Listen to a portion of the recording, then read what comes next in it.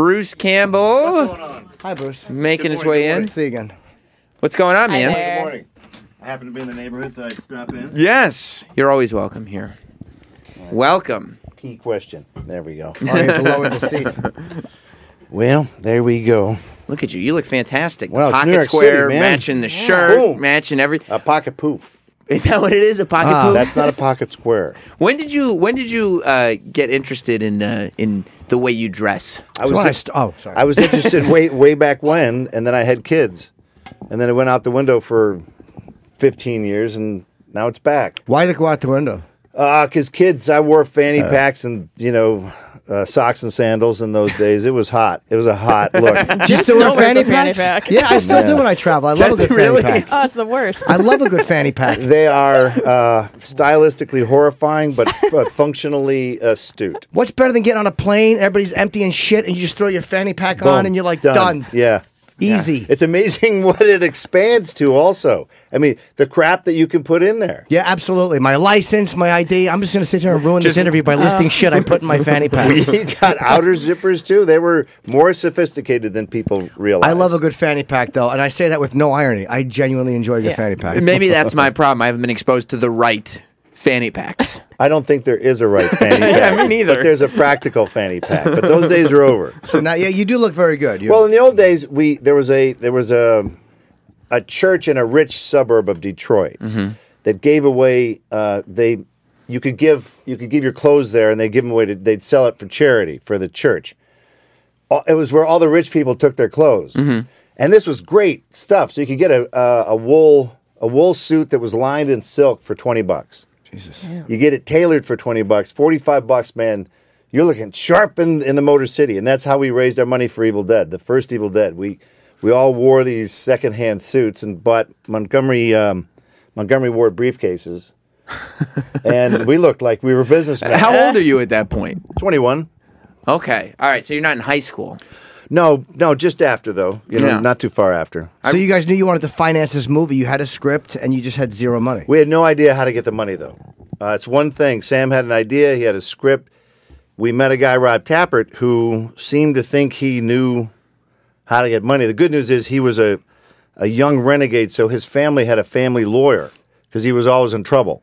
So we went to his lawyer, and said, "How do we raise money?" He goes, "You got to create a thing, like an entity." Right. to then approach businessmen and you speak their language and you show them that you're not full of crap. Mm-hmm. And so that's what we did. And then we showed them a little Super 8 movie. We used to do a lot of Super 8 movies in high school. We did a Super 8 short version of Evil Dead and we showed that to investors and then took their money. and it was a long grueling process. It really was. It was it took 3 3 plus years to make the original movie. Uh, to me, the horrifying part of Evil Dead, it was all very scary. Was the the uh, the angle following the, Mm-hmm. the, that was the, the most genius thing in it, and the tree branch was The evil the evil entity. Yeah, that was frightening. Did you shoot that in the uh, the demo reel? Uh, yeah, we did shoot some of that. Exactly. So what it, it was good for us too to sort of get our horror chops. We had only made silly three Three Stooges comedies before that. Horror was new to us. Right.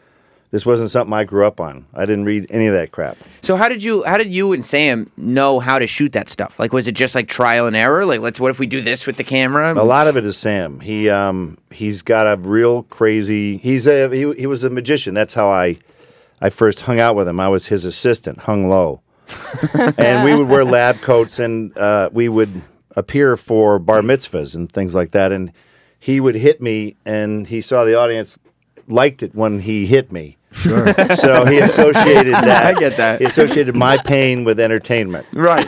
and he never stopped. So that's kind of how Built a that career on it. began. Was he a good magician? He was a good magician because Hmm. every day at four o'clock he turned into a bar. no, I, uh, come on, no, come on now. It out. Let's keep it above the belt. No, Sam was uh, he looked very sleight of hand, and what are movies? The ultimate sleight of hand. Mm-hmm. The angles that you use, what you show, the editing. Uh, he he's the only director I know who read the American Cinematographer's Manual, which is the most boring, make you want to hang yourself uh, book. It's all the technical side of cameras and shutters and apertures and f stops, t stops. Forget it. Yeah. But he, he's like, I have to know this. I have this camera in my hand. What can it do? What can I make it do? Right. And it's impressive what he made it do. See, that is impressive because, like, I feel like so many, especially young directors, student directors, whatever, instead of looking at a camera going, "What can I make it do?" are just looking at other movies and being like, "Oh, just do that." No, no question about it. And we on the original Evil Dead, we had days where we filmed for twelve hours and got one shot. Jesus. Sam would be fired. He'd be fired much. in three days today. he would. Um, you know, in the TV world, by lunch, you've killed the bad guy. Little Billy got his medicine back, and you know, you've you've kissed your co-star. It happens so fast. But Sam's shot is, if his shot is, I want to be tracking with Ash from one din- window to the other, above him, and s- even be above the rafters of the cabin. How do we get that? Wow. And we're like, yeah, how do we get that? so we would spend the whole day figuring out how to get that shot. So then, when you get into uh, doing other movies, like after this thing, it's a success and blah blah blah, and, we're, and and you have a mainstream career and everything. Yeah. Do you go back to Sam and be like, "You're not supposed to do it that way. Like we can go way quicker than that." It was only Sam still goes slow. Though. He does. Oh, it, not much has changed. Just he just has a, you know, there's a now he has resources though. Yeah. It's even more horrifying because Sam can go, no, no, here's what I want to do with the camera now, Mm-hmm. and all of his Holly, all the effects wizards in Hollywood, they're not going to say no. They love these crazy visual challenges. So it's impressive to watch, but boy, as a director of those movies, you got to have an you have a you have to have an attention span. I mean, the detail of this crap of shooting all these effects, the layers, and you know, shooting Ash versus Evil Dead, the new show. There's nothing as an easy shot. There's not an easy shot in the whole show. Right. You're either green screen or some fake driving shot where you're projecting images on the car while you have the background plates playing that have to be shot beforehand. You know, none of it. No, it's, none of it's two guys sitting and talking. Do you like green screen? huh? Do you like using green screen or do you like the all-wear shooting? green green screen it's just a modern day tool and it used to be blue screen now everything's green screen Right. before that it was called chroma key before that they had front screen projection so it's going to change it'll uh, pretty soon they'll go we don't even need green screen just we'll Just do it, we'll just add it in. do it yep Yeah. we'll, we'll just change it later What do you Yeah. hate that movies do? Like, is there anything you do like a movie It- that's it's all cheap- technical. It's so technical. It's like me talking to you, but you're a tennis ball on a stick, and then I because you can't be there because you're a monster and you're being made up, and we're not ready for you yet. It's all that. It's, it's again, it's the deconstruction of a scene of just two guys talking, but now it it's got to be broken into 47 components. Yeah. It's tedious. Movies are really tedious. I loved it. That's why I like TV. well, Let's go, man. We're shooting. When you know, were to- you're when on you- set at seven. You're, that first shot is about seven twenty. Yeah, you don't like saying it's a real case to sit around and wait. Hurry up and wait. God damn it! I fucked Yeah, up. you fucked it up. Worst. And uh, by the way, the show is eight o'clock on Starz. Yes. Um, on Sunday night. Ash versus Evil Dead. Uh, when you did Fargo, is, did they do Fargo? Because I mean, it's, that is one of the greatest TV series they've done in quite some time. Fargo, the movie or the TV show? The TV show. I'm the only actor who's been in both. Were you Yeah, in the that. movie? Hell yeah! I told you he was in the movie. He didn't didn't believe me. it. You I When did the guys, you didn't say yes, it. when the guy's putting the leg in the chipper. Yep. It's Oh, near the end of the movie. Uh, the other guy's watching a shitty soap opera, uh-huh. and I'm in the shitty soap opera. And they so did they film the soap opera for the? no, the Coen Brothers, uh, n- the producer of the Coen Brothers was an old high school buddy of mine. He knew that I had done a really bad soap opera years before, and he Oh, goes, that's great. He goes, let's just get the footage. Just get get the rights to it. it. Costs like a dollar. so that's what they did. They got they. It was something we had filmed years before. And then did the people who did the TV show did they have any idea that that connection existed? No. Like was no. No. So that was just a happy coincidence. Except for the same producer, John Cameron. So he he then brought me in to do Ronald Reagan. Right, right. the TV You show. did. You, you sat down and you said, "Well, you did a little Reagan There when you, you, first." go again. How can you not? Once you, once you look, I, my kids grew up in the Reagan era, all the '80s. You couldn't get the guy off TV. Yeah. There you go. He was the scolder in chief. You just you do Reagan, I do Clinton. We that's awesome. Now, what's your Clinton? Let's hear a little bit of your Clinton. Ah, fuck the black hooker behind Oh some bushes. God! so it's not really what how he does it; it's what he says. That's it. It's the content. Okay. Right. That's dead on. Oh my God! Bill, are you here? I Oh my looked over my shoulder. I was like, Yeah. I, I think he's here. That's Yeah. actually an excerpt from his uh, autobiography. I Oh believe. man. yes. Well, you'll you'll appreciate. I, I met him once. I met him in Miami. How was he when you meet him? Hilarious. He is right. Oh, uh, we it was a function for Haiti, some some relief thing. I know it. I saw you in evil. I've chased women through the woods You're like close. that. You're close. You're close. He yells like that. No, we, he? we got the guy who was his assistant told us, me and the star of Burn Notice, he goes, if you guys get near the end of the line, he'll have more time. If you get near the front of the line, he's got to blow Right, past right. you. Yeah, We're like, good advice. Yeah. Got way near the end. We're 20 feet away. He looks over at us. He goes, Oh, man. Hey. Sort of like how you did it. Oh, I love your show. And we literally, both of us, we look behind us. We like- he's not talking about us, is he? Yeah, you thought maybe Dennis Hof from the Bunny Exactly. Ranch. so we finally we finally get up there and he says the words. He goes, "Burn Notice is my favorite show. You play my favorite character." He's saying this to me. Sam, we're both over the hill warriors. I'm like, what? Oh my god. Bill Clinton was watching Burn Notice. Yeah, because he goes, Hillary's gone all week. This is when she was Secretary of State. So I'm home. I watch the show. Oh, it's a good show. Where's the girl? he, he did. He did end it with that. Where's the girl? That's pretty. That's got to be pretty great. That's hilarious. He said he did it when when Hillary had pneumonia. Bill was like, "Well, I watch a lot of TV. I saw on TV that she had pneumonia. I guess he's just watching all his Oh, programs." I'm telling you, man. I watch the show all the time. It's my favorite character. No, he needs. Well, he, he- that, that was his cover show because he has to. He has to explain what he does when she's gone. I was watching Notice. Burn Notice. Burn Notice, my favorite show. Those ladies are lying. I was watching a Burn Notice marathon. Right, and USA would be running Burn Notice like nonstop. So it's like Yeah. you're all good. You're all good. I like to go in the basement just like Yeah. Evil Dead. Yeah. Sorry. It's the one show that you could pick and it would make sense. It's like Law and Order. Right. be the, uh, the other Right. one. Burn Right. Notice and Law and Order. Perfect. What I was gonna ask you about Fargo was, did they shoot that like a TV show or a movie? Sort of both. Yeah. They have instructions. They uh, the the show creator uh, Noah Hawley is he. You know they have rules um, because they don't want it to be un uh, unfargo-ish. Right. When the Coen Brothers shoot their movies, they Roger Deakins is the guy who's their cinematographer. They use certain lenses. They don't use. They're not telephoto guys. When you look at a Coen Brothers movie, for some reason they like to kind of be with you in the room. They're not guys who shoot like 24, Right. Where it's like you're always on a 600 millimeter lens, and they're finding you down the street because they think it looks cool. Mm-hmm. They you can't. There's a certain rule like no lens uh, deeper than a certain like focal length Yeah. because then it would not look like the show. So they have those kind of rules, but so it does. It doesn't look like a standard. But the pace of it is TV pace. Uh, Or not really. Shooting it, it's weird. They um, they're not. They don't race along. Huh. They don't, and it was funny to hear Kirsten Dunst go, "Oh, the the workload of television." I'm like, "Yeah, welcome to the program." you know, it, yeah, it's a workload. You got to do it. Yeah. Yeah. I was gonna ask if there were any other if Bill Clinton was like the peak of sort of famous. I mean, Bill Clinton is beyond famous, but fans, n- notable fans, to stuff that you've done beyond Burn Notice and any, you know, whatever. Well, who could possibly be bigger than? Right? Well, you we ever had get an just heard, email from um, Bin Laden? But we had heard uh, Alice Cooper. Alice Cooper's favorite horror film is Evil Dead. That's cool. That's pretty good. Yeah. coming from him. Um, I think Charlie Sheen likes to smoke uh, marijuana and watch Evil Dead Two. Oh, that's great. But should I be think- watching Philadelphia.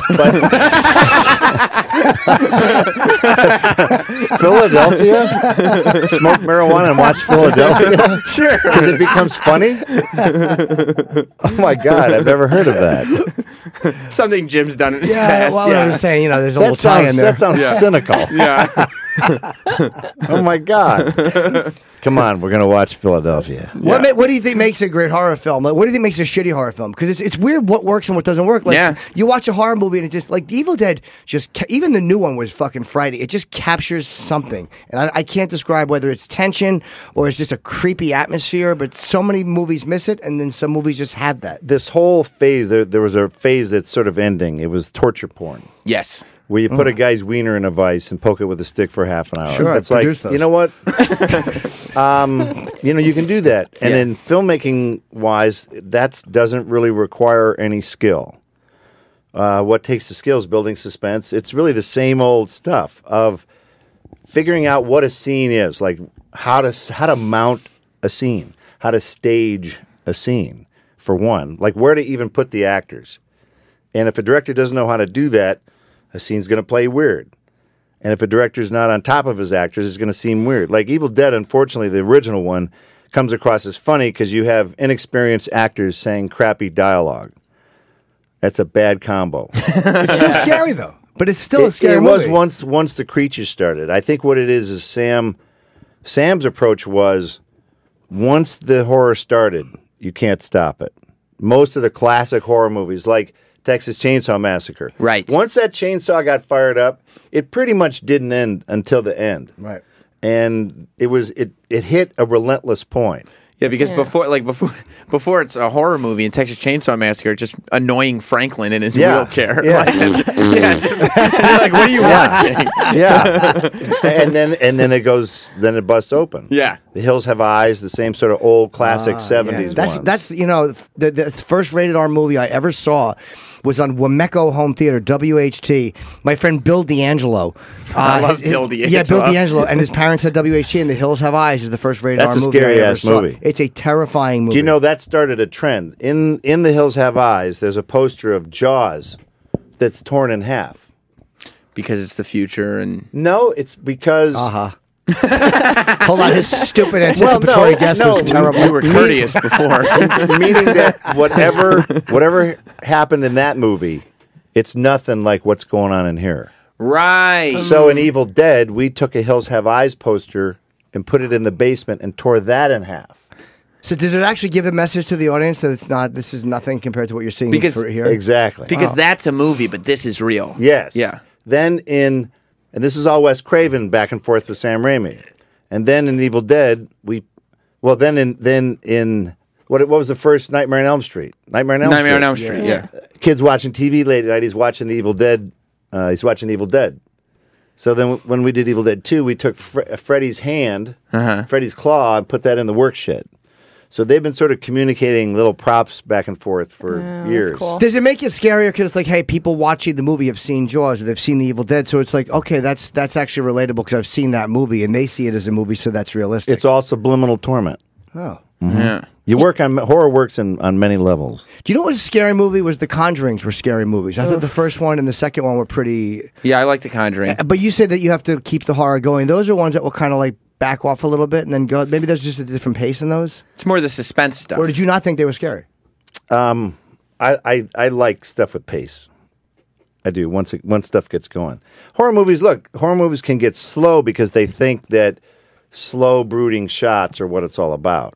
That's actually fine. And in the original Evil Dead, there are little slow moments, but they're just breathers until it starts again. Let Okay. your ears clear. Are you still? Do you still try to see everything, or not really anymore? When you say see everything, like movie, like are, are, do are you you still saying? consider Yeah, can you yourself like still No. enjoy horror films? You Sure. know, you can kind of know how it Um, you, all made. I love the process. I still love the the business, but when I go to see a movie now, I watch actors look at their marks. Uh, it's all still too technical. You Yeah. see actors looking at their Oh marks? hell yeah! Oh, there's some great ones. The- Seriously, and it's a little flick of the eyes. It's all it is. What's but a I good know one? what they're looking for. What's a good one? Uh, Where the guy I'm not gonna. I'm not gonna out any of my brother sister actors. Uh, but it's when you you have to run, uh, and they're using you know telephoto lens, and then you have to hit a mark. And So you have it, to run. You know it wasn't in the theory of everything. Because he was in a wheelchair. Bill Clinton is chasing you, and you're running. oh my god! You mean because Stephen so- Hawking has no use run. of his legs? Oh my yeah. God! Get his it's mark. not- It's a chair. Yeah. so you get you get to the mark and you have to stop, but you've been running. Right. And you're you're not supposed to look at your mark, but you have to. Because otherwise, unless you have really good peripheral vision, you're going to miss your mark. And if you miss your mark, you're out of focus. It's Sure. that simple. So you go, where is it? There it is. Everyone is now going to look for that. I'm I, I never thought to Oh, look at that. bad. Believe me, I've been on sets. I never thought. And I'll tell you, uh, the other thing is watching actors save a line. They'll be in the middle of a line, and I know that they're halfway toward fucking that thing up, and they're gonna they're gonna pull their way out of it. Yeah. Shatner's the best at it because I watched T.J. Hooker. so he's good at almost butchering one and then fixing it. Normally, Shatner talks at a pretty lightning fast pace. He's William Shatner. He's talking, and when sometimes the lines aren't as obvious to him, he slows down, becomes more deliberate in his approach. Until he gets it, then he's back spinning up again and talking. so some actors, you'll save, you can save a line because you're like, I'm not doing this again. Wow, you can see them actually doing Yeah, it. where you see them That's- bogged down, and then you. But the the great thing is watching them claw their way out of it But is that almost without make- making them look like they're clawing their way out of it. That's a Right. that's a gift. And it might make it look more natural too, because that's when you sometimes when you're talking, you don't know exactly what you're going to say, so you stop and. That correct- is true. Right. There's a lot of uh, old timey actors. They would talk like that, like radio announcers, Right. With all the perfect pacing, because that's kind of how they were taught. Then you get into John Cassavetes, more of the avant-garde stuff, and you want actors to not act. Yeah, it's weird. Right. I can't watch a lot the of the older Pacinos, films. you know what I mean? The De Niro, early De Niro's, they got into more of the mannerisms and stutters and sniffles and a lot. Actors now, this is my favorite. Okay, so say say some lines of dialogue to me. Um, I don't know. For dinner, I was thinking maybe we can get some chicken or something. What do you think? Why is he looking? Bruce is looking around. I'm like, what are you looking at? He's looking all What are you around the looking room. at? Me? And now, now I'm going to be that same actor. Okay. Okay. Yeah, I'm going to go to the store. I don't know.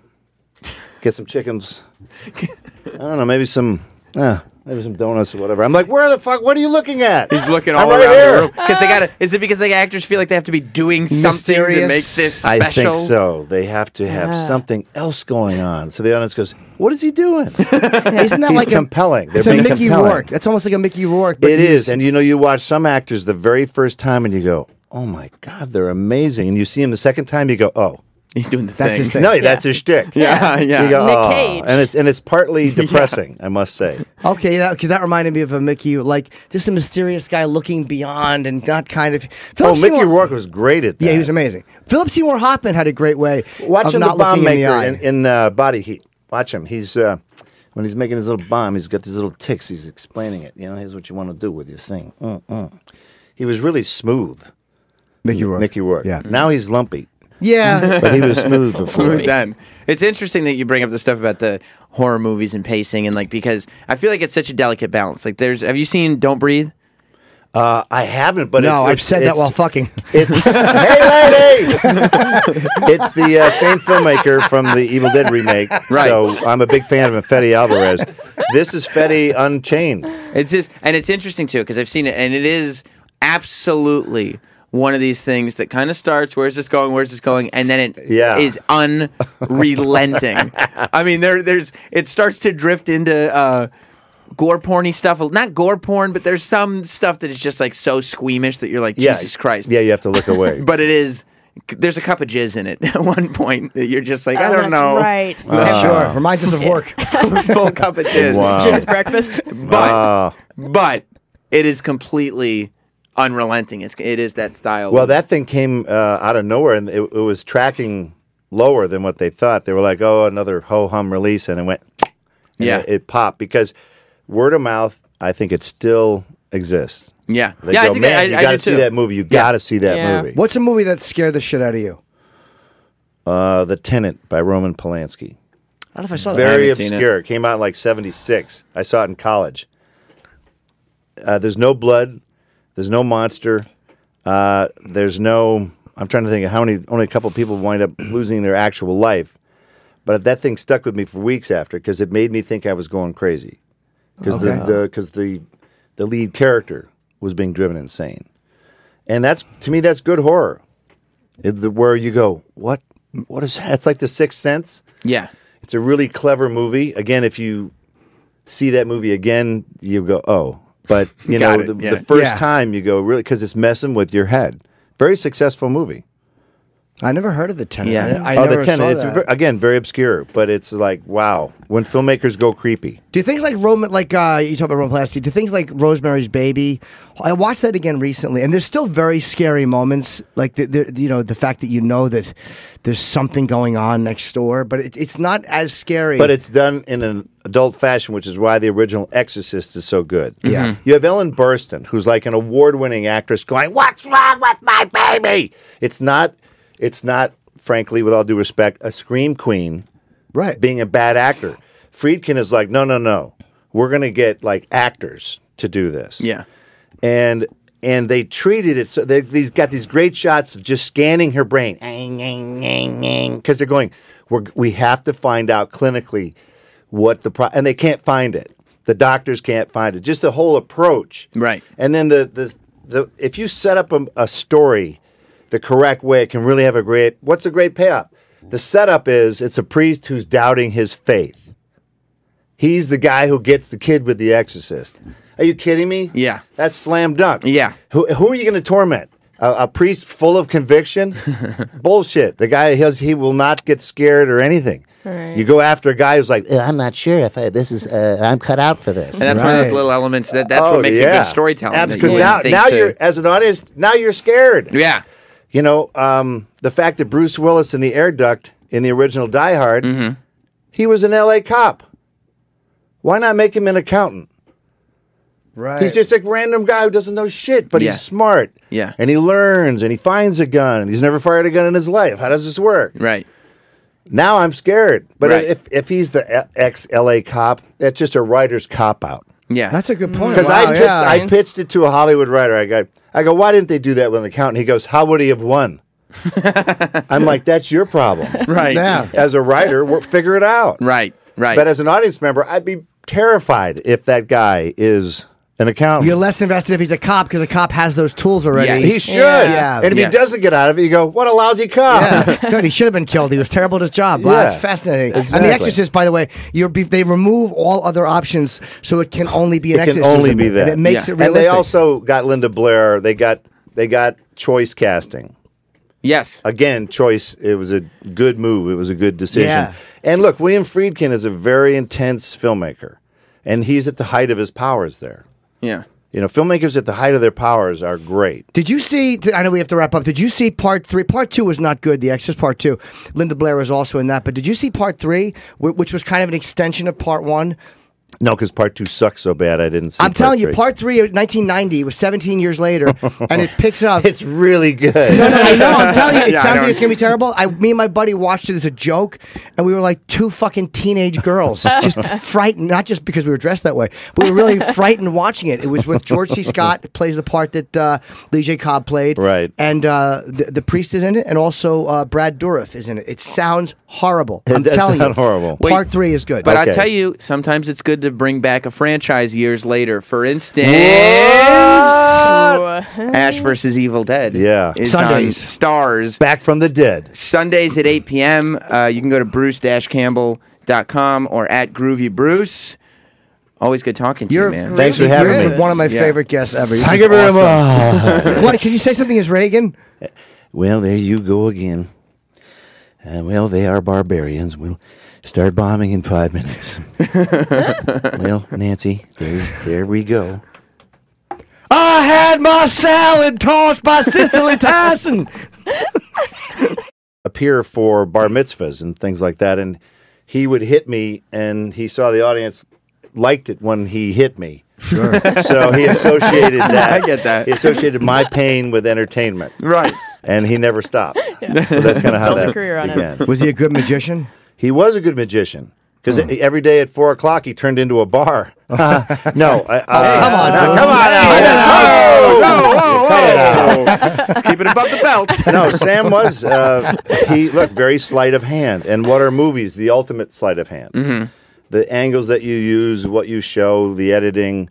Uh, he he's the only director I know who read the American Cinematographer's Manual, which is the most boring, make you want to hang yourself uh, book. It's all the technical side of cameras and shutters and apertures and f stops, t stops. Forget it. Yeah. But he, he's like, I have to know this. I have this camera in my hand. What can it do? What can I make it do? Right. And it's impressive what he made it do. So that is impressive because, like, I feel like so many, especially young directors, student directors, whatever, instead of looking at a camera going, "What can I make it do?" are just looking at other movies and being like, "Oh, just do that." No, no question about it. Sa- And we, on the original Evil Dead, we had days where we filmed for 12 hours and got one shot. Jesus. Sam would be fired. He'd be fired much. in three days today. he would. Um, you know, in the TV world, by lunch, you've killed the bad guy. Little Billy got his medicine back, and you know, you've you've kissed your co-star. It happens so fast.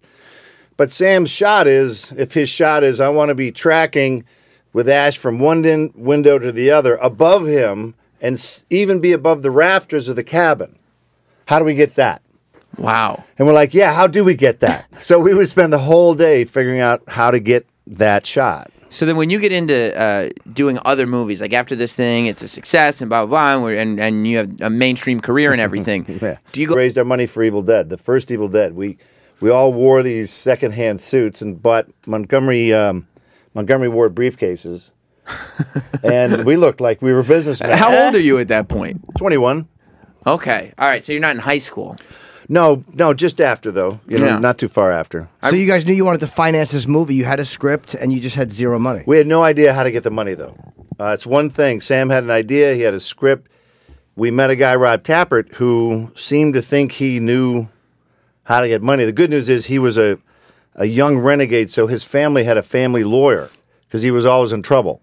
So we went to his lawyer, and said, "How do we raise money?"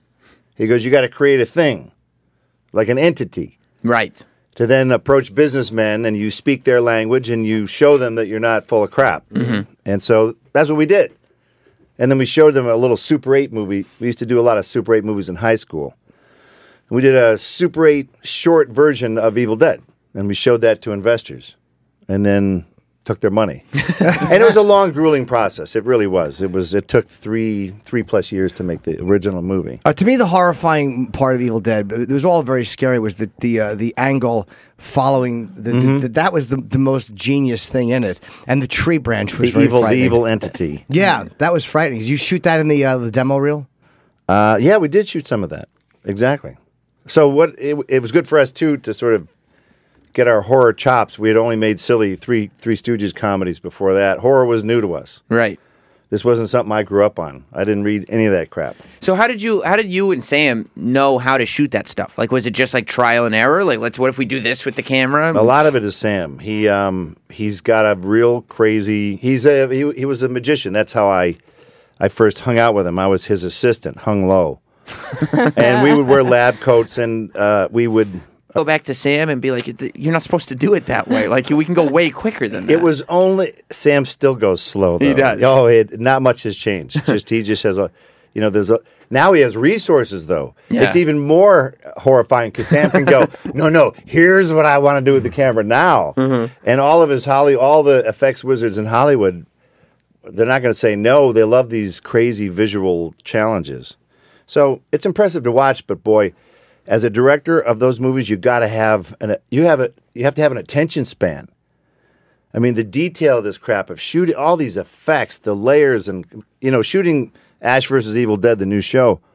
There's nothing as an easy shot. There's not an easy shot in the whole show. Right. You're either green screen or some fake driving shot where you're projecting images on the car while you have the background plates playing that have to be shot beforehand. You know, none of it. No, it's, none of it's two guys sitting and talking. Do you like green screen? huh? Do you like using green screen, or do you like the all-wear shooting?